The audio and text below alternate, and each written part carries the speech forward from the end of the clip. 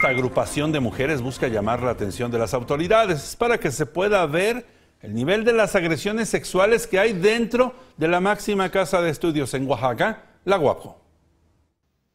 Unidas por la rabia que genera la violencia hacia las mujeres, decidieron nombrarse las Guajaperras. Enlazadas por el feminismo, hicieron del arte y la sátira una forma alternativa de denuncia contra aquellos señalados como acosadores sexuales de la Universidad Autónoma Benito Juárez en Oaxaca. Actualmente cuentan con un mapeo de las facultades en donde las mujeres enfrentan distintos niveles de riesgo por la presencia de docentes o estudiantes acusados de ser acosadores. Conformada por estudiantes y egresadas de la UAPJO, la colectiva nació hace un año a partir de un episodio de violencia contra una de sus compañeras. Bajo ese contexto optaron por el arte de la desobediencia y crearon un bestiario.